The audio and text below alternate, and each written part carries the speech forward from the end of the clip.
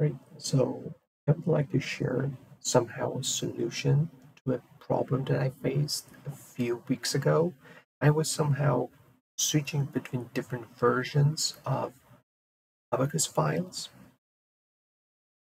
So normally uh, you would like to convert uh, older version to newer version or vice versa, or even you want to switch between student or professional edition in some cases. Uh, so the typical uh, kind of solution is just having your JNL file. This is a kind of Python file. Uh, it is this Abaqus scripting uh, somehow language which is developed based on Python.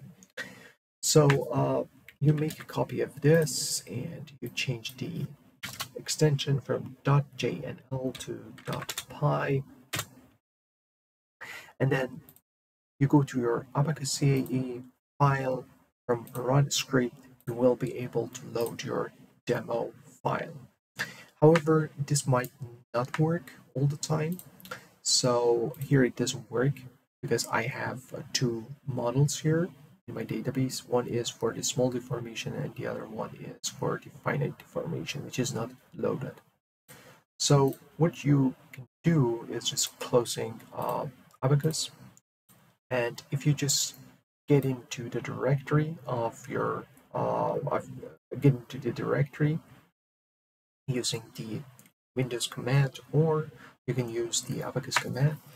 And for the versions that I have here, which is the student version 2021, I need to type in ABQ 2021 SECAE recover equal sign, and then I need to load in my uh, file name. So I just typed in D and then I press tab. So it will detect the .jnl file and we will load it.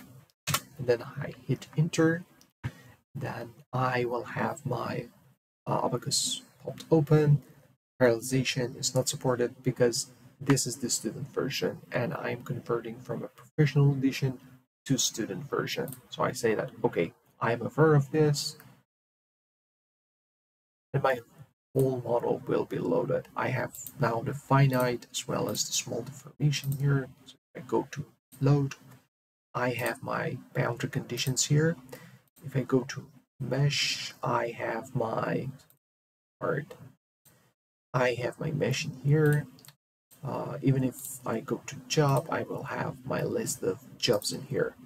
So depending on different ver uh, depending on which versions you have. So if you have the Learning Edition 2022 ABQ uh, 2022 Learning Edition. Oh, yes, Recover equal to just the name of the file. And if you have uh, the professional edition, just uh, Abaqus CAE recover again equal to demo.jnl or the name of the file .jnl and then uh, you hit enter